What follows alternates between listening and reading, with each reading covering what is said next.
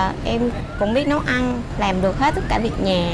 Đặc biệt là em chơi game rất là giỏi, chơi game online á. Rồi thời gian đâu đi làm rồi thời gian đâu dọn dẹp nhà cửa nấu ăn? Tại vì em đi làm một uh, Nguyễn Thị Thiên Vân Em 24 tuổi, em quê ở Sóc Trăng. Nhưng mà hiện tại thì em đang làm việc ở Sài Gòn. Em là nhân viên tư vấn về sữa bột của em bé. Rồi, mời bạn trai. Em tên là Đặng Minh Trung. Năm nay em 25 tuổi, em đến từ Cần Đước, Long An Em là nhân viên y tế của Bệnh viện Nhân dân 115 Rồi mình ở thành phố luôn hay là mình ở đi đi về về Long An? Hiện tại thì em đi về về rồi Khoảng có bao nhiêu cây? 30 cây Điểm mạnh, điểm yếu của em là gì? à, Điểm mạnh của em thì em em biết nấu ăn Yếu em thì mấy đứa bạn em nó rủ đi ăn á hay hỏi em về cái cái món ăn nó như thế nào thì em hay là có chút xíu là em có nói là món này không ngon hay là hơi lạc hơi mặn gì chút xíu. À, có nghĩa là em có khả năng nhận xét món ăn. Đúng rồi. Mà chính xác không?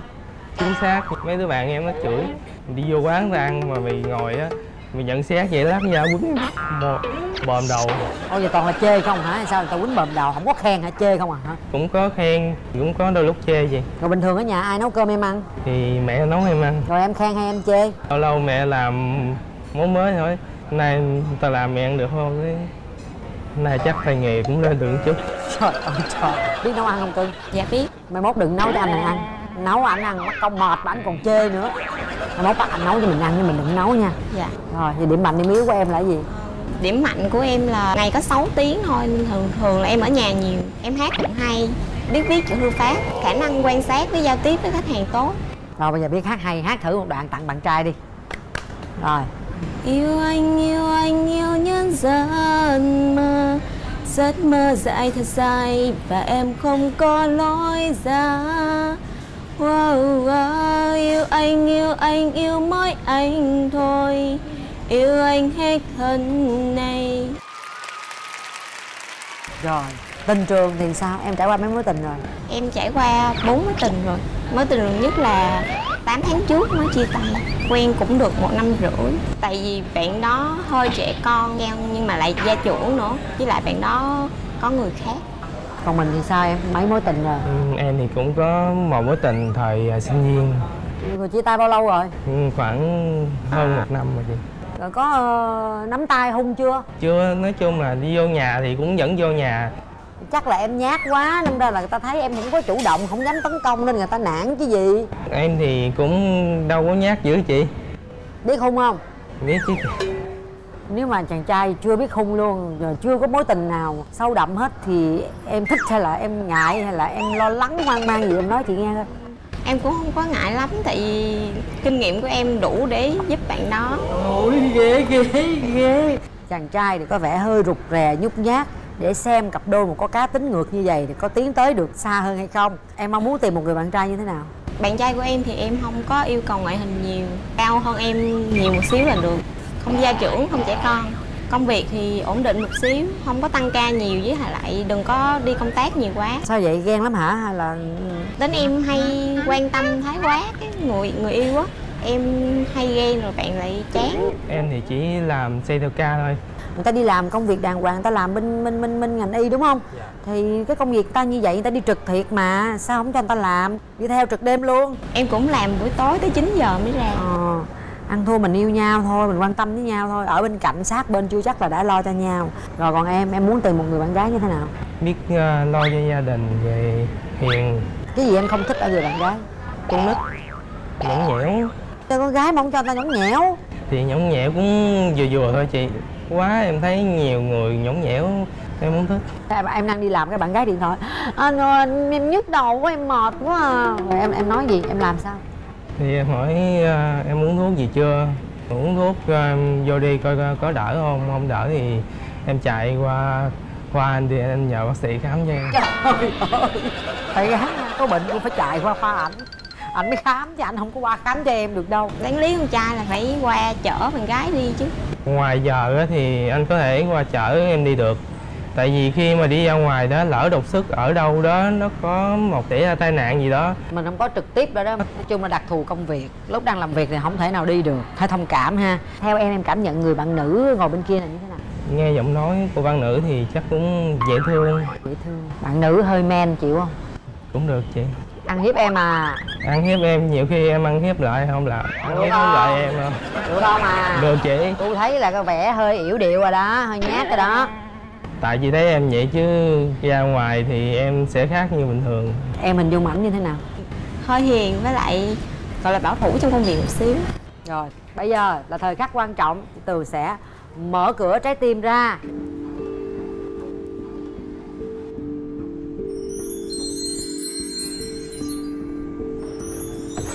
Tặng quà liền tặng quà liền. Mình có món quà tặng. Em cảm ơn thấy ảnh có giống như em suy nghĩ không? Nhìn mặt hiền thiệt. Hiền thiệt. Em có ngại chàng trai hiền quá không? Ừm, hiền quá thì cũng không tốt nhiều lúc không có bảo vệ được phụ nữ của mình. Đôi lúc thì anh cũng hiền như vậy nhưng mà đôi lúc thì anh cũng khó tính dữ lắm nhưng anh có thể bảo vệ được cho em. Em em cũng khó tính lắm á. Khó thì có ở mức độ vừa thôi chứ không có khó mà như mấy người ở ngoài um, miền ngoài ở miền nào cũng phải tùy người chứ không phải miền anh nào cũng ở miền tây đúng không? đúng rồi anh ở miền tây. Em nhìn thấy cổ em có cảm nhận như thế nào ở cái giây phút đầu tiên gặp gỡ? Dễ thương có một nụ cười rất là duyên. Chúng ta sẽ bắt đầu gọi món. Khi mình gọi món xong rồi mình chúng ta sẽ tiếp tục trò chuyện với nhau. Xin mời hai bạn hãy chọn thực đơn. Mình chọn món gì em gái? Ừm, cà ri tôm chiên kèm măng tây cà chua. Cà ri kim chi. Rồi chị sẽ order dùm cho hai bạn nha. Rồi bây giờ chúng ta tiếp tục nói chuyện đi nè nếu kết hôn xong thì mình sẽ sinh sống ở đâu? Em có ngại làm dâu không? làm dâu thì em cũng không ngại lắm nhưng mà nếu mà có thể sống riêng với ba mẹ thì tốt. Anh thì bây giờ thì đi về về nhưng mà qua năm có lẽ là anh sẽ mướn trọ ở trên đây ở. Anh có dự định là sẽ dồn tiền mua nhà không? Tại vì em cũng đang dồn tiền á. Anh không cần mua có gì thì về dưới quê anh có nghĩa là em không có ý định lập nghiệp ở sài gòn? Vẫn ở sài gòn nhưng mà ở trọ chứ mình không có ý định là sẽ mua nhà ở thành phố hồ chí minh. Có nghĩa là tại vì long an nó cũng không có cách thành phố bao xa anh ấy đi mỗi ngày được. Em thì em thích hai vợ chồng nếu mà làm thì phải có một khoản tiết kiệm riêng sau này phải mua được nhà. Anh là con lớn trong nhà cho nên là có mình anh à. Anh cũng thấy à, lâu lâu anh phải về. Thì cái chuyện lâu lâu Chuyện anh phải lâu về, lâu là, là chắc chắn về. là sẽ về rồi nhưng mà mình cũng phải có cái nhà cũng riêng của mình chứ. Nếu như mà muốn à, tích góp lại để một cái quỹ riêng mua nhà thì vẫn được, ok. Mình phải à, thoải mái hơn nữa, trò chuyện thẳng thắn để khi mình quyết định á, nó không có cái gì lầm lỡ hết. Sau này đừng đổ thừa chị cát tường ha. Nhà hàng đã chuẩn bị xong rồi. Rồi hai bạn cứ từ từ ăn uống, trao đổi thẳng thắn với nhau. Để một chút xíu nữa chị tường quay trở lại rồi mình quyết định có bấm nút hẹn hò với nhau hay không.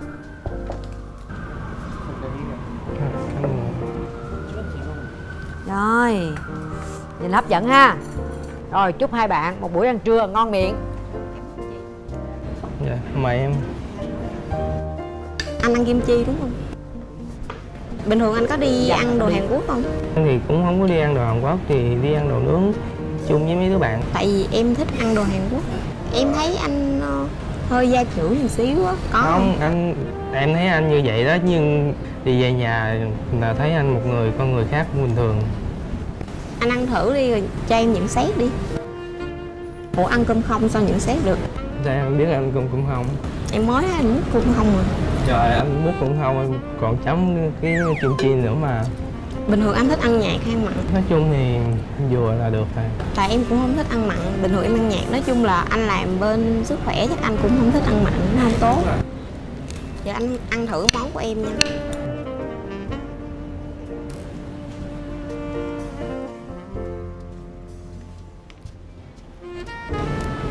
hơi mặn không anh có biết hồi nãy anh ăn cục gì không? Không tôm Ờ đúng rồi. Anh có chơi game không? Ừ, không anh thì Không chơi game. ít chơi game á không hầu như là không chơi game. Tại vì công việc anh lúc nào không thích nữa chơi game được. Chỉ có lâu lâu là lấy ra lướt facebook vậy thôi. Cái ngành em đang làm á là chuyên về tư vấn cho em bé này nọ nên là em rất là hiểu. Ăn chưa ăn chưa? Ăn rồi. chị. ngon không? Nhận xét nghe thử coi. Ngon chị chị tường muốn nghe hai bạn nói với nhau thật lòng hiện tại cảm xúc trong người mình như thế nào. Nói chung là tình cảm em thì nó tiếp xúc với em đó thì mới nhận biết được cái tình cảm của em nó dành cho một cái người à, con gái nó như thế nào. Gặp lần đầu không thể nào mà thích nhau liền hay là yêu nhau liền được Cần phải có thời gian. Thì hôm nay dù gì cũng bỏ thời gian ra chờ đợi rồi tới đây rồi Thì em cũng sẵn sàng cho cơ hội nếu mà anh muốn không phải vấn đề là anh muốn hay là không muốn, mà vấn đề là mình có muốn hay không. Bấm nút trên đây là mình phải hôn nhau. Mà bao nhiêu người sẽ theo dõi? Ba mẹ, bạn bè. Mình muốn mình mới bấm, chứ không phải bấm vì người khác. Nếu hai bạn không bấm nút, hai bạn vẫn còn có cơ hội hẹn hò lần kế tiếp. Hãy nhắm mắt lại đi hai bạn. Một, hai, ba. Hết thời gian rồi, xin mời hai bạn đứng ra đây nha. Ngày hôm nay, hai bạn đã thuộc về nhau, chính thức tìm hiểu nhau để tiến tới hôn nhân. Rồi biết hôn không, biết nắm tay không? Rồi cho anh